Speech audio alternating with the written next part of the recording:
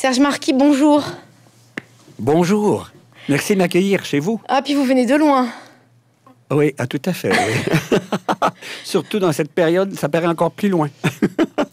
Alors, vous êtes avec nous pour nous parler de votre dernier ouvrage intitulé Je. Connais-toi toi-même. Comment fait-on cela aux éditions Flammarion? C'est donc tout l'enjeu de cette heure que nous avons devant nous. Comment fait-on cela? La première de mes réflexions, Serge Marquis, vient de ce titre que vous démarrez par Je. Et quand on lit votre livre, on découvre que des je, il y en a beaucoup. On pourrait presque Ouais. dire nous en parlant d- individuellement, tellement il y a de je. Oui, il y en a une quantité absolument innombrable. On en fabrique euh, à partir de je ne sais pas quel âge exactement, mais euh, très tôt dans la vie. Et on en fabrique toute la vie des jeux à cause d'un processus qui est dans notre cerveau qui s'appelle le processus d'identification et qui euh, est constamment en, action et qui fait qu'on s'identifie à toutes sortes de choses tout au cours de son existence. J'ai envie, de dire tout de suite, dans l'espoir de, de devenir ou d'être quelqu'un, euh, pour euh, s'assurer qu'on aura vécu notre vie euh, sans n'avoir été rien. Donc, il y a une espèce de, de- difficulté, là, parce que cette espèce de processus, on ne sait pas quand il est apparu dans le cerveau humain. Il y a des hypothèses à l'effet qu'il n'a pas toujours été là, euh, qui seraient apparues en cours d'évolution, entre autres à partir du moment où on a eu besoin d'un territoire et qu'on se serait identifié au territoire qu'on avait. Ça aurait été le premier jeu dans l'histoire de l'humanité. Je suis mon territoire. Et après, euh, il y a plein. Le mécanisme étant en, en marche, s'étant amorcé, ben, il s'est accéléré. Et aujourd'hui, il suffit qu'on ouvre la télé et qu'on soit devant un match de tennis. Euh, il y a deux joueurs qu'on ne connaît pas, qu'on n'a jamais vus. Et le processus d'identification démarre. Après quelques secondes, on s'identifie à l'un des deux joueurs. Ça devient un autre jeu dans notre tête. Et ce qui est fascinant, c'est que si le joueur auquel on s'est identifié gagne, on se sent bien. Et s'il perd, on se sent mal. Et que deux minutes avant, on ne le connaissait pas. Alors ça, c'est fascinant. De là l'importance de se connaître pour découvrir que, au, au bout du compte, nous ne sommes aucun de ces jeux. C'est énorme comme, comme phrase, mais c'est une réalité. Et en même temps, ce à pardon, mais en même temps, c'est aussi parce qu'on va s'identifier et qu'on va découvrir qu'on n'aime pas perdre, qu'on apprend un peu plus qui nous sommes, non? Si on, si on prend le temps de le faire, si on prend le temps d'observer ce qui se passe dans notre tête, oui. Sinon, on se laisse happer par un tas d'émotions. Ça peut être la colère vis-à-vis de la personne à laquelle on s'est identifié, qui a raté un coup. Et tout à coup, le, discours s'amorce dans notre tête, ce que j'avais appelé euh, dans un autre petit livre le hamster qui se met à courir et qui, qui fait, ben, il porte des jugements sur la personne. Quel idiot, il a raté ce coup-là. Et là, évidemment, apparaît dans ce que j'appelle dans le livre une tempête hormonale qui crée un inconfort immédiatement autour de la colère, de la déception, de l'insatisfaction, de la frustration. Alors que trois minutes avant, on n'avait pas encore ouvert la télé et on se sentait bien. C'est quand même fascinant comme phénomène. Et c'est super important de le découvrir pour apaiser ces réactions, ces tempêtes hormonales qui sont tout à fait inutiles et qui peuvent même nous rendre malades physiquement. Alors ça va jusque-là. Là. C'est, de là l'importance de se connaître soi-même. Mais alors Il y a des la... enjeux majeurs au niveau des relations avec les autres, bien sûr, et au niveau de la possibilité de savourer complètement notre existence. Parce que si on est dans ce, jeu qui, tout à coup, est dans un état de frustration, parce qu'il n'a plus l'impression d'être le quelqu'un qu'il voudrait être, si le joueur avait gagné, par exemple, le match, je suis quelqu'un, je suis le meilleur, j'ai gagné le match, alors que ça n'a rien à voir, on ne connaissait pas l'individu deux minutes plus tôt, mais c'est ce qu'on ressent. Et, et- deux minutes, ou s'il il perd, et c'est là qu'arrive le côté pénible de la chose, et je le répète, arrive un état d'inconfort, vraiment, là, physique, et qui fait que euh, on ne savoure pas pleinement notre existence. On ne le savourerait que si l'individu, les individus auxquels on s'identifie, gagnaient tout le temps pour faire en sorte qu'on se sente quelqu'un. Ça veut dire qu'on cherche. Ça veut dire qu'on cherche qui on est toute la journée, à travers tous les gens qu'on rencontre. C'est toujours par rapport à l'autre que finalement on se construit? Ça, c'est une super de bonne question parce que euh, se connaître soi-même, c'est découvrir justement l'inverse de ça. C'est-à-dire que oui, on, peut, dans une relation, commencer à prononcer une phrase que j'aime beaucoup, qui est une des plus belles phrases qu'un être humain puisse prononcer au cours de sa vie, qui est Je n'avais jamais vu ça comme ça. Cette phrase ne peut se prononcer que dans un dialogue, lorsqu'on est à l'écoute d'une autre personne qui vient de dire quelque chose qu'on n'avait pas vu encore et qui tout à coup est une révélation et qui nous permet de dire Je n'avais jamais vu ça comme ça. Donc là, on vient de changer ce qu'on peut appeler une partie de la construction de soi, c'est-à-dire avoir un regard complètement ouvert sur euh, la réalité qu'on découvre à travers des échanges comme ceux-là. Cependant, d'avoir l'impression qu'on existe à travers l'autre, c'est aussi euh, un piège. Parce qu'on devient dépendant de du regard de l'autre. Et ça, j'ai essayé d'ailleurs d'illustrer ça dans, dans, le bouquin on devient dépendant du regard de l'autre pour avoir l'impression d'être quelqu'un. Et ça, bien sûr, je suis loin d'être le premier à en parler, là. mais il faudrait qu'on soit de plus en plus nombreux et nombreux à le faire. Parce que ça fait en sorte qu'on passe notre vie à présenter des images à l'autre pour recevoir son attention qui confirmerait qu'on existe très tôt dans l'enfance, une des premières choses qu'on cherche pour assurer notre survie, c'est très important, c'est l'attention de l'autre. Parce qu'on associe recevoir l'attention avec être nourri, être protégé, être câliné, etc. Donc, on cherche l'attention et on cherche des moyens d'obtenir l'attention. Et là, il y a un piège. Encore une fois, le cerveau, cet organe extraordinaire, fait beaucoup d'erreurs au cours de la vie. Il fait des associations qui ne tiennent pas la route, mais il s'en rend pas compte. Alors le cerveau fait une association très tôt entre il faut que je sois extraordinaire, exceptionnel, pour recevoir de l'attention. Cette association naît du fait qu'on euh, a pu dire quelque chose ou faire quelque chose quand on était enfant, lire euh, apprendre par cœur un petit poème, euh, quatre lignes, réciter le petit poème devant les parents, les oncles, les tantes, etc. Et tout à coup être applaudi.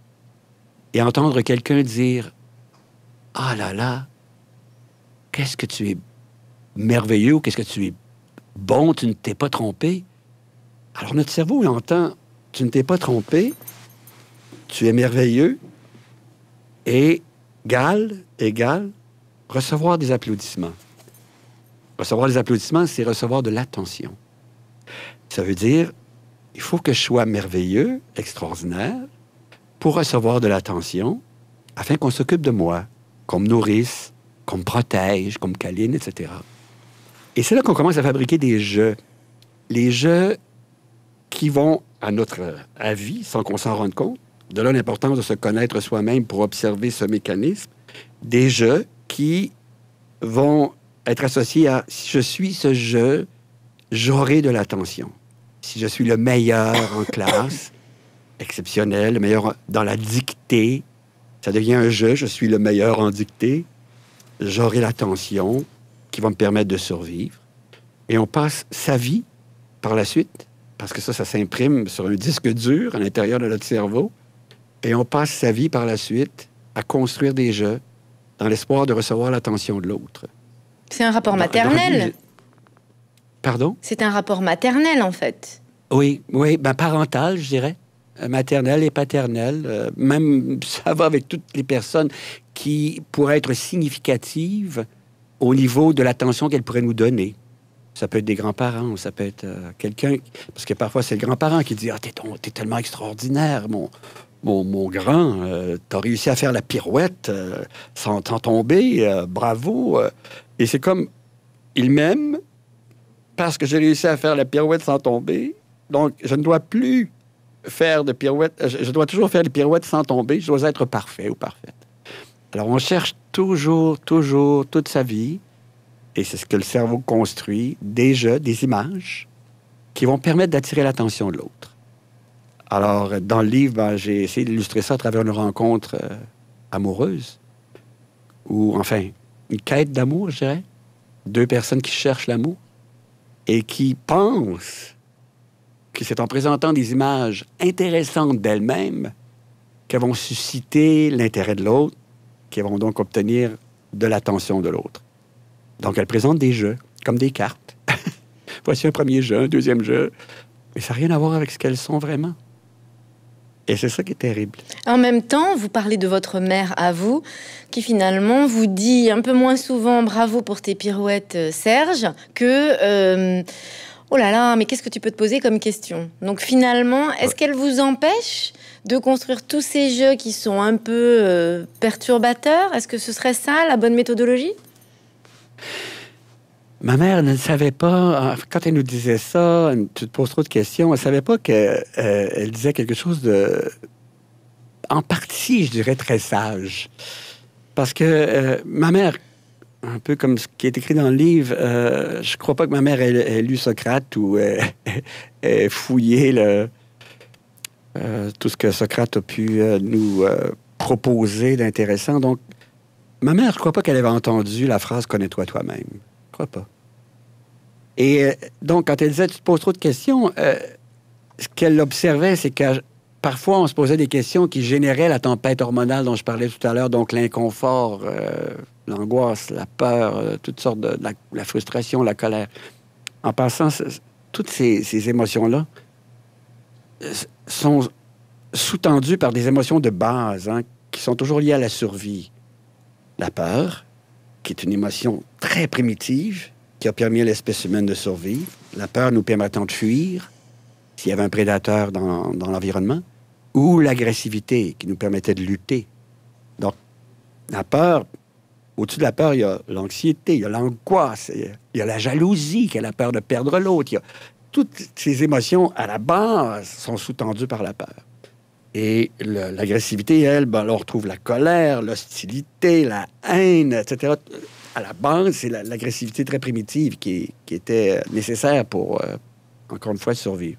Et entre les deux, il y a la paralysie figée, là, se cacher dans un buisson dans l'espoir que le vent soit dans la bonne direction. Alors, mais, donc, c'est très primitif, ces réactions-là.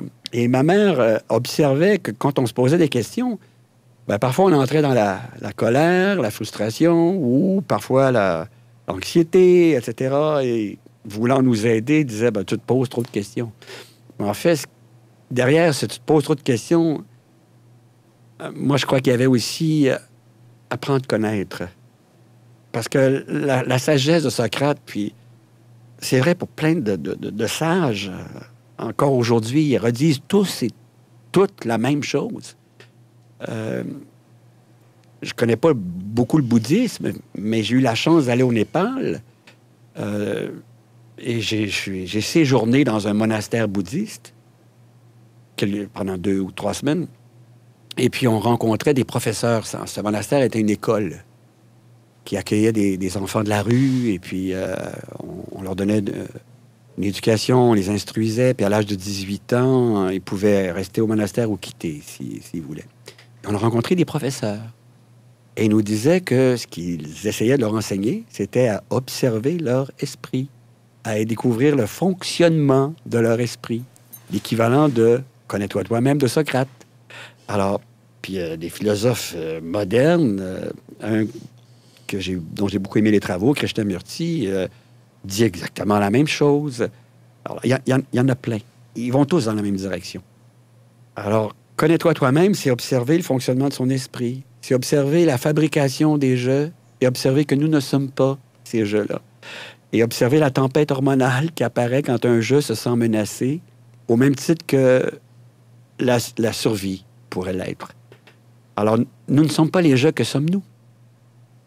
C'est la question fondamentale. Alors finalement, quand on lit votre livre, on en vient à se dire qu'on pourrait remercier les gens qui nous mettent en colère ou qui nous font peur parce qu'ils nous apprennent qui nous sommes, si je vous ai bien suivi. Absolument.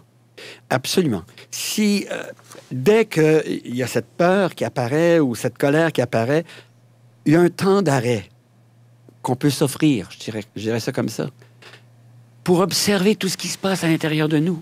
Quels sont les observer, c'est très important ce mot. Observer les pensées qui génèrent la tempête hormonale sous forme de, colère ou de, peur. Et là, on se rend compte que le contenu de ces pensées-là est la plupart du temps lié à la perception d'une menace. Ah, il n'y aurait pas cet inconfort s'il n'y aurait pas perception d'une menace. Une menace à quoi?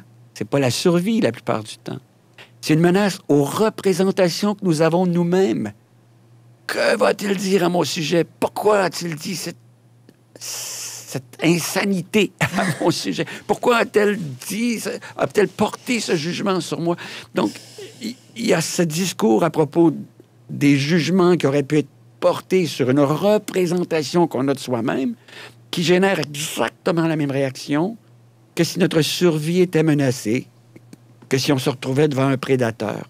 Et ça, les gens qui nous mettent en colère ou qui génèrent une peur à l'intérieur de nous, la peur de ne plus être aimé, la peur de ce qu'on va dire au sujet de l'image qu'on veut projeter, etc., ben, nous offrent l'opportunité d'observer ce mécanisme-là et de l'apaiser en découvrant que c'est un jeu qui vient de se sentir menacé. C'est pas ce que nous sommes profondément. Ce que nous sommes profondément, moi j'aime toujours dire, euh, je rends hommage à Marie de Hennezel, cette incroyable euh, psychologue française qui, lors d'une conférence à Montréal, j'avais la chance d'être dans la salle, a dit, elle nous parlait de, ce qu'elle faisait comme travail, de soins de fin de vie, etc. Et elle nous a dit, il faut découvrir en nous ce qui ne vieillit jamais. Quelle phrase magnifique. Qu'est-ce qui en nous ne vieillit jamais? Et la première chose qui en nous ne vieillit jamais, c'est la capacité d'être complètement présent, présente. Dans l'observation des jugements qu'on porte sur les autres ou dans la réaction qu'on a aux jugements que les autres ont pu porter sur nous. D'observer ça. Quelqu'un porte un jugement sur moi, et ça arrive souvent, très très fréquemment. Est-ce que tu t'es regardé avec cette chemise, cette veste, bon, ta, ta, ta. Instantanément, c'est instantané. C'est ça qui est fascinant. C'est une fraction de seconde. La tempête hormonale s'est déclenchée et instantanément, la frustration, la colère, et on entre dans, dans, dans un mode lutte. Que connais-tu euh, à la mode? Sur je sais pas quoi? Alors donc, il y a comme déjà une espèce de, de conflit qui apparaît en un instant parce qu'il y a eu un jugement. Mais si cette personne si on, arrive à, ce temps d'arrêt qui nous permet d'observer la réaction qu'on vient d'avoir, on fait tout à coup, mais qu'est-ce que c'est que ce mécanisme? Qu'est-ce qui se sent menacé à l'intérieur de moi? Il faut toujours se rappeler qu'il n'y aurait pas cette réaction s'il n'y avait pas perception d'une menace. C'est une histoire de temporalité alors? C'est une histoire d'arrêt? C'est une histoire de lien au présent? C'est une histoire ah de lenteur? Ah oui, j'aime ça. Beaucoup. c'est vraiment le, temps d'arrêt. Moi, je l'appelle la seconde révolutionnaire. Vraiment. Il s'agit de s'arrêter une fraction de seconde. Parce que c'est tellement instantané, c'est tellement un réflexe. Là. Et la tempête hormonale s'amorce instantanément. Là. Donc, on, les, les, muscles contractés, la mâchoire serrée, tout ça, c'est comme si on était devant le prédateur prêt à mordre. Et c'est là que la seconde révolutionnaire peut, survenir. C'est-à-dire que il y a ce temps d'arrêt d'une seconde qui fait Oh là là, qu'est-ce qui se passe ici là? Qu'est-ce qui se sent menacé à l'intérieur de moi là? Et découvrir que c'est une image, c'est une représentation qu'on a de soi-même. Ça n'a rien à voir avec la vie qui nous habite, avec l'énergie qui circule en nous, avec nos capacités les plus profondes qui ne vieillissent jamais. La capacité d'aimer, la capacité de créer, la capacité d'apprendre, la capacité de transmettre, la capacité de s'émerveiller, la capacité de savourer. Toutes ces capacités créées, créées, je trouve ça tellement important. Ça n'est pas menacé par un jugement. J'ai déjà entendu une entrevue, j'étais à côté de la personne, on était plusieurs en entrevue, et il y a quelqu'un qui critiquait le, livre que cette personne-là venait d'écrire. Et puis, euh, la personne qui faisait l'entrevue, et c'était pas gentil, là. Enfin, c'était pas gentil, c'était difficile pour l'auteur. Et la personne qui faisait l'entrevue s'adresse à moi et me dit Que diriez-vous en ce moment à, la personne qui, à qui je viens de m'adresser Alors, j'étais un peu étonné qu'on me pose cette question, mais j'ai tout de suite répondu ben, Je lui dirais que sa capacité de créer est intacte fondamentale, parce que s'il laisse aller la tempête hormonale, il va peut-être commencer à se juger lui-même et à dire je, ne vaux rien, je suis un incompétent, je suis nul, alors que ça n'a rien à voir. Et la comment, capacité de créer est intacte. Comment vous expliquez qu'on est dans une société si auto-centrée et que, donc justement, ça devrait nous être plus facile de nous arrêter et de conserver ce que nous savons faire, puisqu'on s'occupe beaucoup de nous aujourd'hui, quand même? Ah, J'ai envie de dire, ça, ça j'aime aussi beaucoup cette question-là parce qu'elle permet de faire une distinction importante. J'ai envie de dire qu'on s'occupe beaucoup de notre ego dans la société actuelle et non pas de ce que nous sommes réellement. Et ça, j'ai cherché pourquoi l'ego avait pris tellement de place. Et alors, pourquoi? Le moi, moi, moi, moi, moi, moi, moi. Ouais. Et je crois avoir trouvé une réponse chez un philosophe montréalais dont j'adore les travaux, qui s'appelle Charles Taylor, qui a écrit un livre qui s'appelle Les sources du moi, une brique euh, épaisse comme ça. Et il y a eu une petite synthèse qui s'appelle Éloge euh, de la modernité ou quelque chose comme ça. Et dans ce livre, Taylor nous dit qu'à la fin du 17e siècle, au début du 18e, s'est amorcé ce qu'il a appelé une grande marche identitaire qui visait à faire en sorte que chaque personne puisse devenir totalement elle-même. Taylor a dit que ça a donné naissance à des grands mouvements, euh, comme le féminisme, par exemple, pour permettre aux femmes d'enfin occuper une place euh, dans la société euh, où tout leur potentiel pourrait se développer, s'exprimer. La même chose pour les personnes non blanches, pour euh, les personnes d'orientation sexuelle différentes des hétérosexuels, etc. Donc, la grande marche identitaire avait pour but de permettre à chaque personne de pouvoir développer pleinement son potentiel, devenir elle-même. Et il a appelé ça le phénomène de l'individuation, devenir l'individu que nous sommes. Mais dit qu'on a glissé, qu'on a dérapé, et que c'est là que l'ego est apparu, qu'au lieu d'aller, pardon, vers l'individuation, on a glissé vers l'individualisation. C'est-à-dire, moi, moi, moi, moi, euh, je, veux tout, euh, je veux qu'on m'enlève rien, je veux surtout rien manquer dans la vie, parce que je pense qu'il faut rien manquer pour euh, avoir l'impression d'avoir réussi sa vie, donc tasser les autres pour ne rien manquer, etc. Et ça n'a rien à voir avec devenir soi-même. Devenir soi-même, Taylor nous dit toujours ça, ça ne peut se faire que dans la rencontre qui permet justement de prononcer la phrase Je n'avais jamais vu ça comme ça. Et là, on n'est est plus dans l'ego, euh, moi, moi, moi, je suis le meilleur. Euh, bon, chez nous, au Québec, on a une expression qui dit Je me pète les bretelles. C'était pouf hein, C'est comme si on se faisait éclater les bretelles sur le thorax. Je suis le meilleur, etc. Alors, ça n'a rien à voir avec devenir soi-même.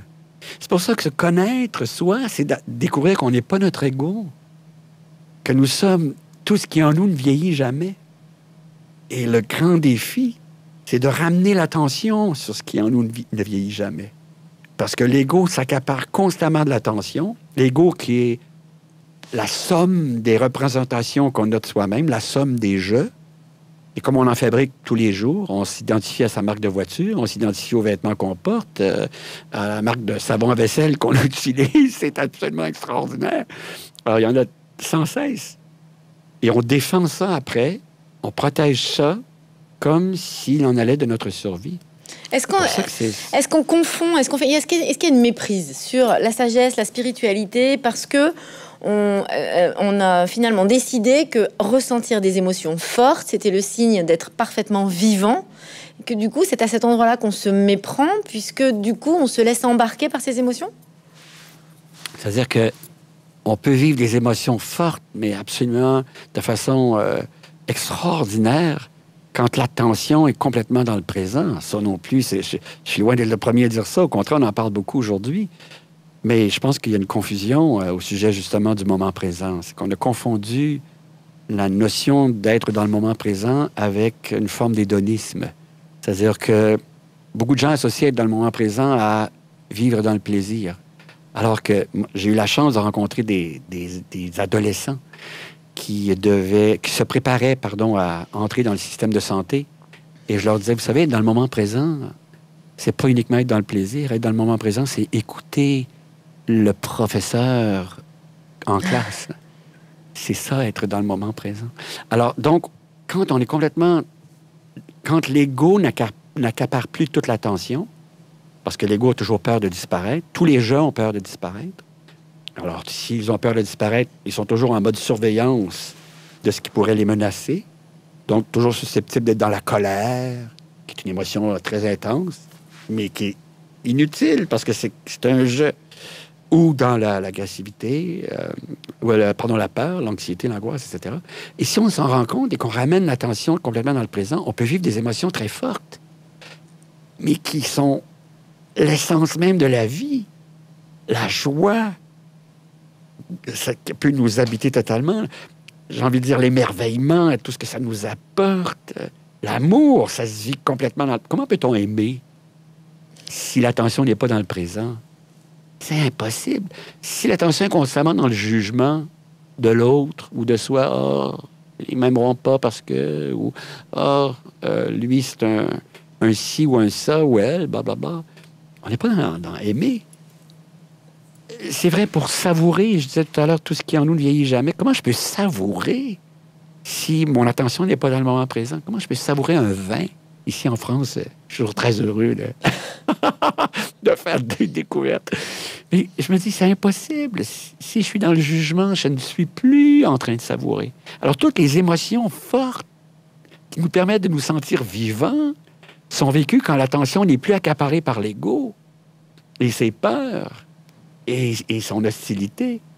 Quand l'attention revient complètement dans ce qui en nous ne vieillit jamais, à ce moment-là, on savoure pleinement l'existence, complètement. Et on peut avoir l'impression, j'ai envie de doser une phrase, parce qu'on me pose souvent la question, de réussir pleinement sa vie. De pouvoir, enfin moi je crois ça, de se dire à la fin de sa vie, si toute notre attention était là, ça valait vraiment la peine d'être vécu. Euh, mais en même temps, on est dans cette société qui euh, nous incite à, avoir finalement la peur comme euh, centre de contrôle, puisqu'on est dans une société qui prévoit beaucoup euh, d'assurance, le, CDI, euh, l'assurance d'un travail à long terme. il y a une forme de, sécurité que nous recherchons. Et donc là, ça devient très compliqué de se dissocier finalement d'un environnement axé sur cette peur qui est qu'on est censé finalement prévoir. Vous avez parfaitement raison. Vous savez, il y, a, un principe euh, très important qui est que le cerveau privilégie de placer l'attention sur ce qu'il perçoit comme une menace. Il fait ça depuis des millions d'années. Il fallait qu'il le fasse. Il a été conditionné à faire ça. Quand on marchait dans la plaine, il fallait que toute l'attention soit sur le moindre mouvement dans, les feuilles de l'arbre, sur les, moindres odeurs nouvelles. Il fallait, au cas où il y aurait un prédateur ou euh, une menace. Donc, le cerveau a été conditionné à ça. De sorte que maintenant, socialement, pour avoir notre attention, je dirais même qu'au bulletin d'information, c'est absolument fascinant, on nous présente sans cesse des menaces. Sans cesse. À notre sécurité. Parce que la quête de sécurité, c'est la quête de base pour arriver à survivre. C'est tellement primitif.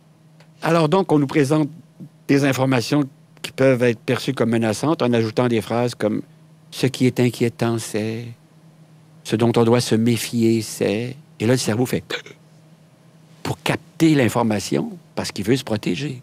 Est-ce que vous voulez dire aussi, en, disant cela, est-ce que vous voulez dire aussi que finalement on ne s'adapte plus au monde qui est autour de nous, de nous, mais on attend que le monde s'adapte à nous? Oui. C'est très intéressant parce que, vous savez, le, mécanisme de base, il est extraordinaire. C'est fabuleux. Je ne sais pas comment c'est apparu. C'est vrai chez tous les êtres vivants. Hein, je me dis souvent, parfois, il m'arrive d'être... Tout à coup, mon pied est au-dessus d'une fourmi. Euh, et je m'en rends compte Et là, elle, décampe. Il y a un mécanisme en elle pour assurer la survie. Euh, évidemment, ça doit être très différent de ce qui se passe dans mon cerveau. Là. Euh, puis j'espère que la fourmi n'a pas d'ego. Mais moi, en ce qui me concerne, on a tous, les êtres vivants, le même mécanisme pour assurer la survie, qui nous permet de fuir ou de, lutter.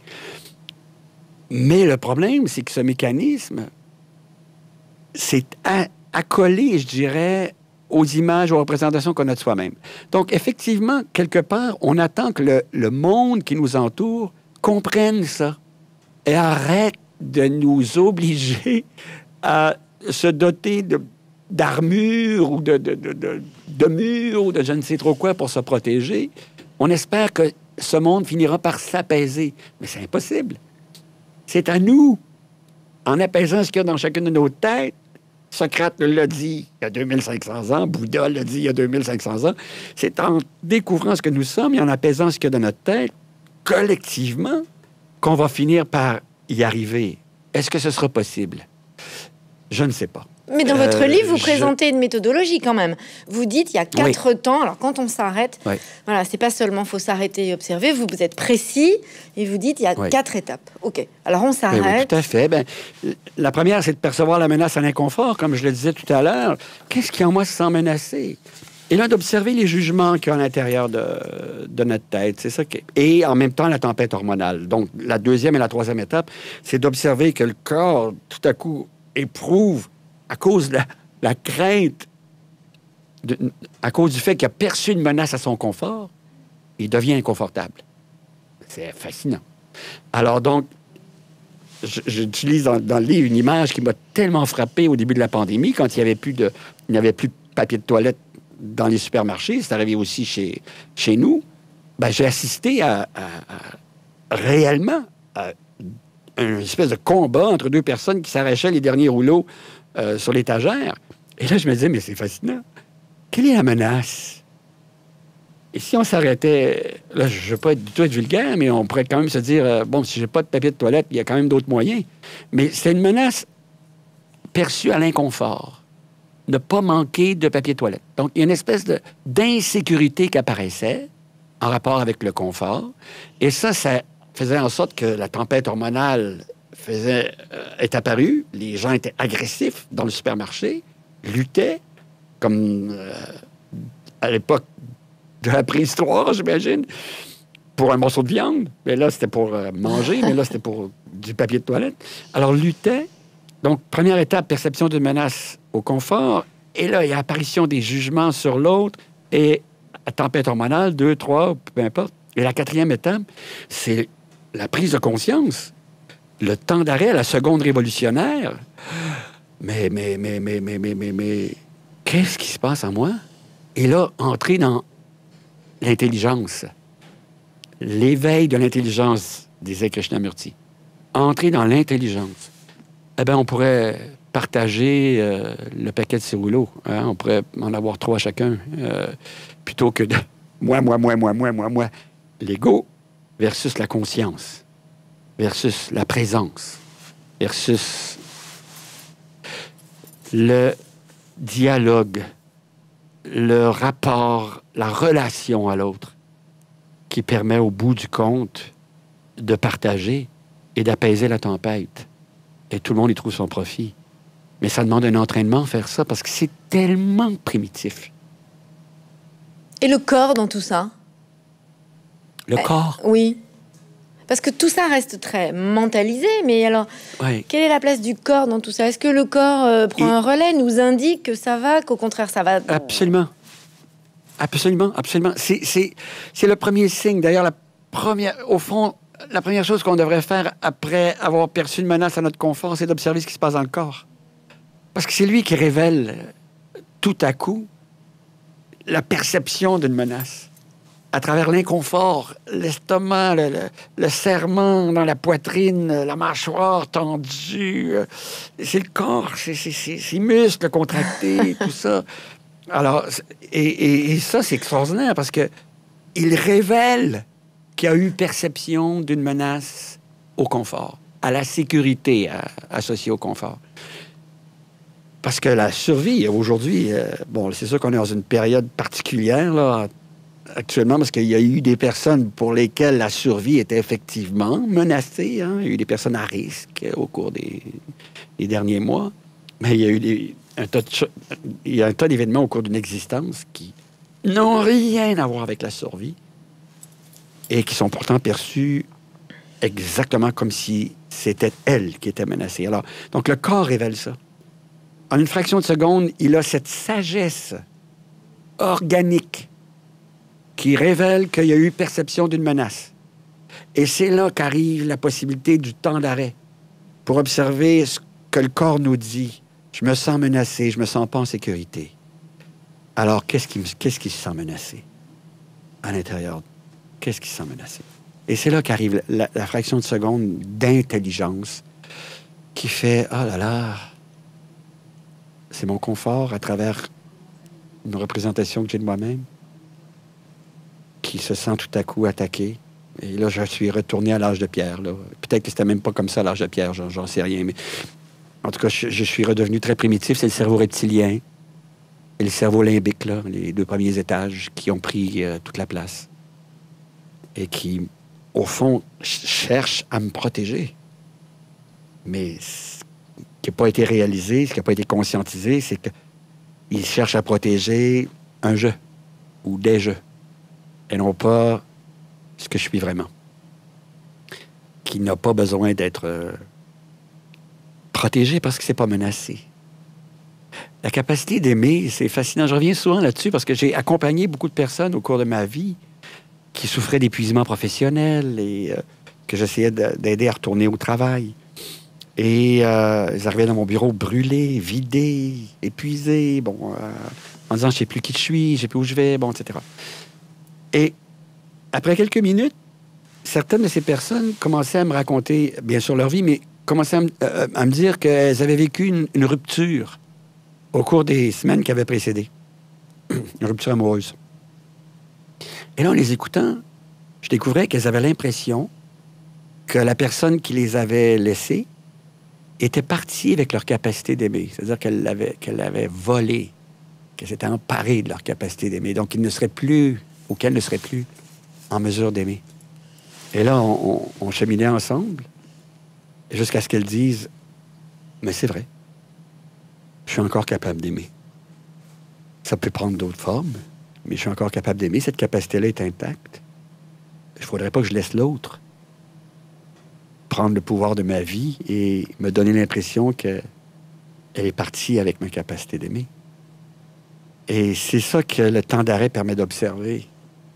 Dans retour. Alors, dans votre livre, vous vous arrêtez souvent. En fait, on passe notre vie au restaurant quand même, hein, quand on vous lit. Ah oui.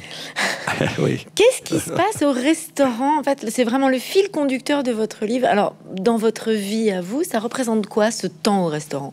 C'est justement pour signifier. C'est un temps. Voilà ça. C'est justement pour signifier que Bon, c'est à la fois on se met à table dans tous les sens du terme, en même temps il n'y a pas d'enjeu, en même temps on est vraiment normalement à disposition de l'autre. C'est pour ça que vous avez choisi cette trame tout au long de votre livre?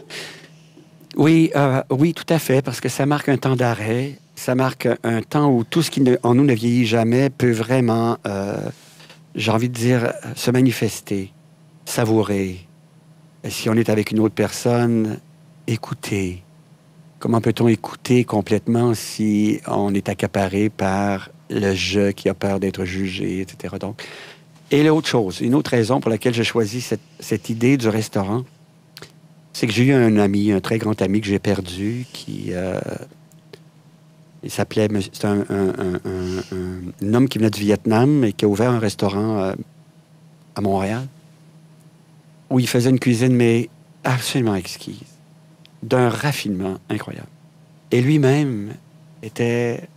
Je dirais que sa, cuisine était à son image, c'est-à-dire que il était lui-même d'un raffinement exquis. Il nous accueillait dans son restaurant comme si il nous connaissait depuis notre naissance ou presque. C'était incroyable. Et euh, il est décédé il y a quelques années et c'était devenu un grand ami. Alors, euh, dans le livre, j'ai voulu lui rendre hommage à travers ce restaurant, puis à travers deux personnages un des, une des personnes qui sert, euh, qui s'appelle M. U, et l'homme que j'ai connu s'appelait Monsieur A. Alors, je l'ai appelé Monsieur U. Et euh, la grand-mère, qui est toujours dans la cuisine, mais qui donne à travers euh, l'art, l'art culinaire, vraiment. Elle prépare des plats. Quand on, ça, c'est cliché de dire ça, mais elle prépare vraiment des plats avec amour. Ce cliché est, magnifique parce que Monsieur A, c'est ce qu'il faisait. Et quand on goûtait euh, ces plats, on goûtait l'amour, littéralement. C'est ça qu'on goûtait. C'est incroyable, euh, renversant. On était dans les émotions fortes dont vous parliez tout à l'heure, totalement.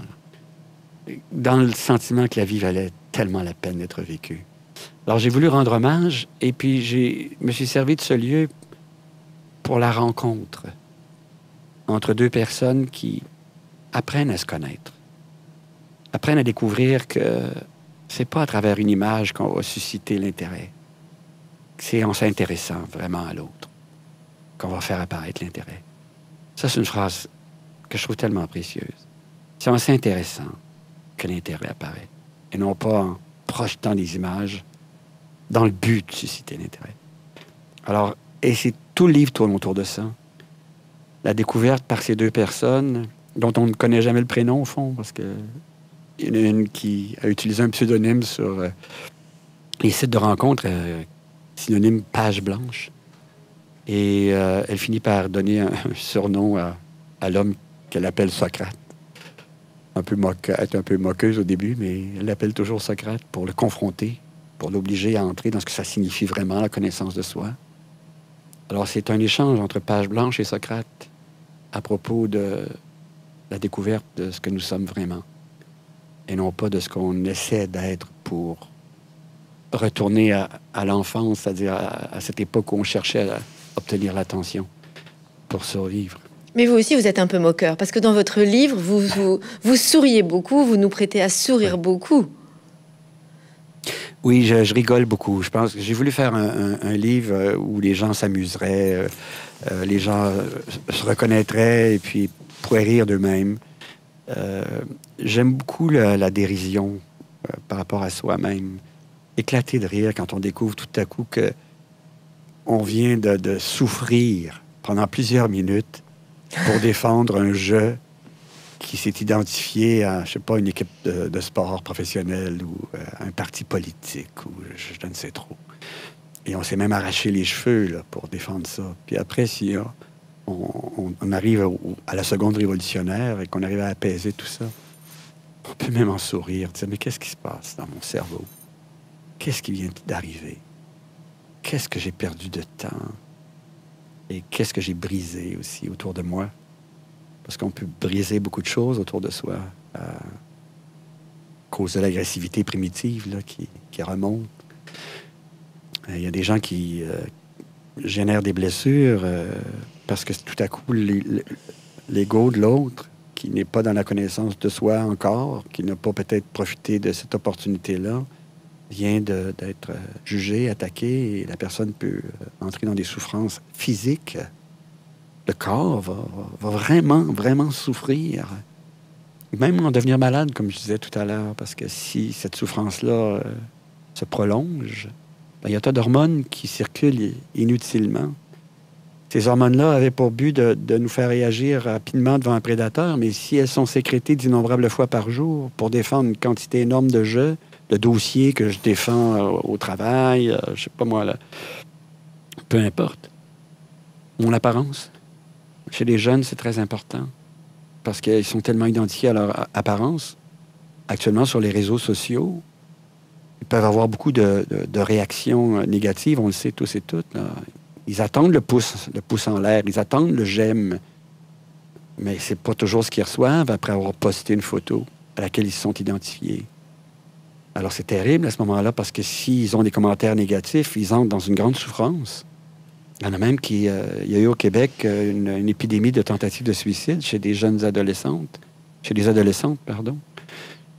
Et on se demandait pourquoi. Puis elles avaient en commun d'avoir posté une photo d'elles-mêmes et d'avoir reçu des commentaires très négatifs sur les réseaux sociaux, mais elles étaient tellement identifiées à, la photo, à l'image, que les commentaires n'étaient plus perçus comme des commentaires en rapport avec leur être, euh, pardon, en rapport avec l'image, mais étaient plutôt perçus comme des commentaires en rapport avec leur être.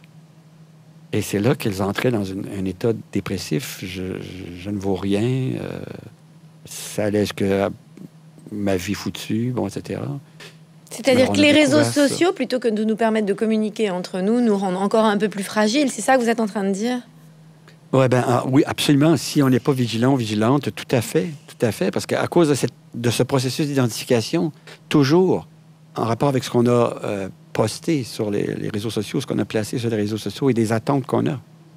Des attentes d'attention, des attentes de reconnaissance, des attentes d'entendre tu es quelqu'un, tu existes. Parce que tu existes à mes yeux. Et tu existes non seulement à mes yeux, mais tu existes aux yeux de 500 personnes, 1000 amis, 2000 amis. Alors, plus qu'il y a d'amis, plus j'existe. Euh, qu'est-ce que c'est que cette histoire? C'est pas parce que j'ai 5000 amis que j'existe davantage, au contraire. Parce qu'un ou l'autre de ses amis, puisque le cerveau privilégie de placer l'attention sur la menace, peut avoir un commentaire négatif, et toute mon attention est dirigée vers ce commentaire négatif. Alors qu'il y en a eu 4999 qui étaient positifs. Et c'est ce commentaire qui est retenu, et c'est la tempête hormonale qui est déclenchée, qui amène la, souffrance euh, dont on parle.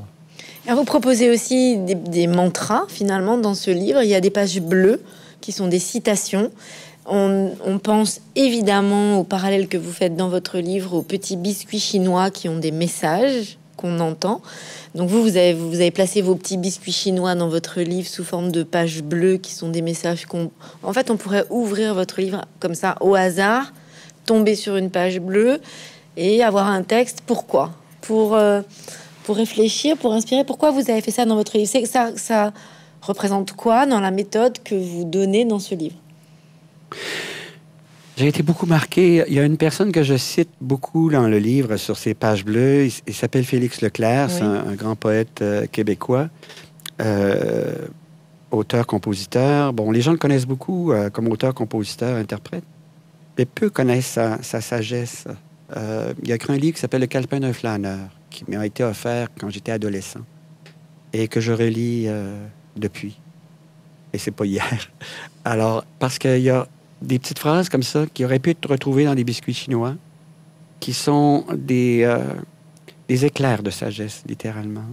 il suffit de lire une phrase pour que tout à coup, il y ait une, prise de conscience qui peut nous permettre de dire j'avais jamais vu ça comme ça. Mais il faut que je rende hommage aux personnes qui ont édité le livre aussi.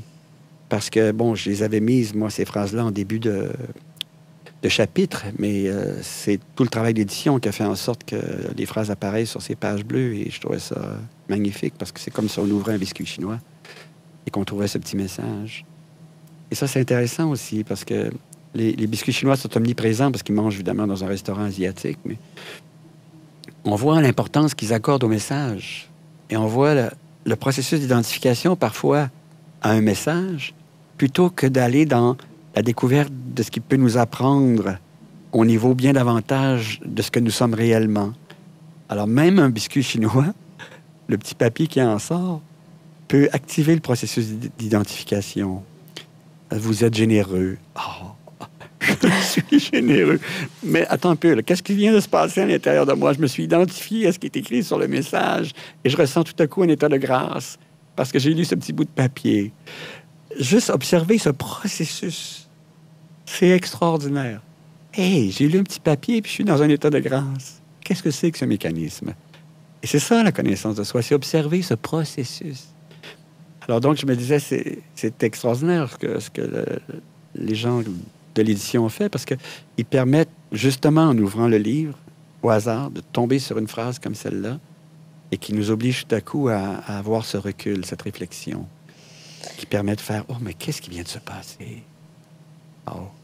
Alors, ce sera ma dernière question. Malheureusement, le temps passe vite avec vous, Serge Marquis.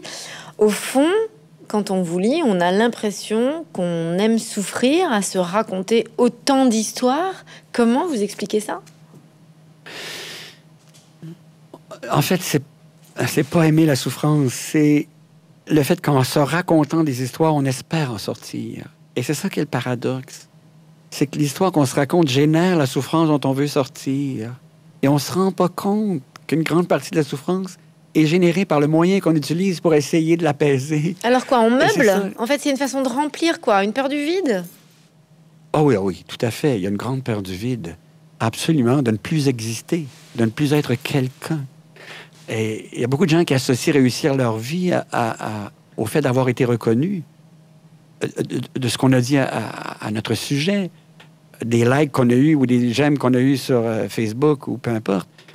Donc, euh, si j'ai eu 50 000 j'aime sur Facebook, je suis quelqu'un et ma vie aurait été réussie. Ça n'a rien à voir. Donc, et là, il y a une souffrance. C'est ça, c'est un paradoxe. En fait, on crée quelque chose pour avoir toute notre vie le travail d'essayer d'en sortir. Oui, tout à fait. Absolument.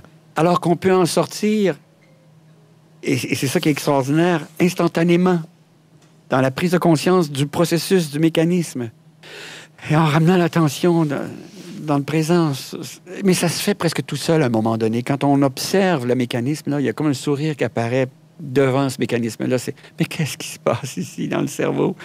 Et, là, il y a un apaisement qui, qui apparaît, là, une ouverture qui fait qu'on savoure la vie et qu'on peut, je disais tout à l'heure, la réussir, mais c'est peut-être davantage la savourer pleinement. Il y a quelqu'un, un sage, oublié son nom, qui disait qu'on lui avait demandé qu'est-ce que pour vous réussir sa vie? Il avait répondu ben, réussir sa vie, ça va se mesurer au nombre de secondes où j'aurais été complètement présent. Complètement présent. Alors, et je crois que c'est vraiment ça. Mais c'est le dérapage qu'il y a eu en cours d'évolution, l'apparition de l'ego, la peur que l'ego disparaisse, le besoin qu'a l'ego d'être quelqu'un et le fait qu'on consacre une partie de notre vie, une grande, grande partie de notre vie, à vouloir protéger les représentations qu'on a de soi-même, c'est-à-dire les, pelures, j'appelle ça les pelures identitaires qui constituent, euh, qui constituent l'oignon de l'ego. Alors, on passe une grande partie de notre vie à, vouloir assurer la survie de ça.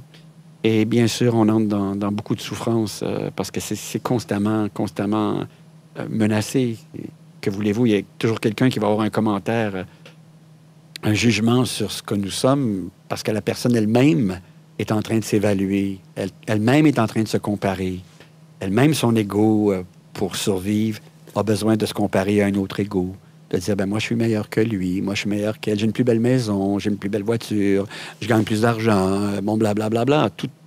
tous ces jeux qu'on construit. J'aime, je gagne plus d'argent, c'est une comparaison. j'ai une plus belle maison, une comparaison. Moi, je porte euh, cette veste euh, qui, est, qui, est, signée. Peu importe, enfin. Alors oui, euh, on se fait souffrir beaucoup inutilement. Beaucoup. Mais donc, vous êtes la preuve vivante qu'on en sort facilement? Non, pas facilement, je crois pas. parce que pour moi, c'était, et c'est encore, beaucoup de travail. Mais je dirais qu'il y a une vigilance qui est apparue une vigilance qui permet d'observer le, mécanisme. C'est pour ça que j'en parle, parce que je sais que c'est possible. Et cette vigilance fait que je reste beaucoup moins longtemps, l'attention demeure beaucoup moins longtemps dans le besoin de protéger un jeu. Euh, elle revient dans ce qui, en moi, ne vieillit jamais. Je me le dis d'ailleurs, est-ce que ta capacité d'aimer est menacée, Serge? Est-ce que ta capacité d'émerveiller est menacée? Non.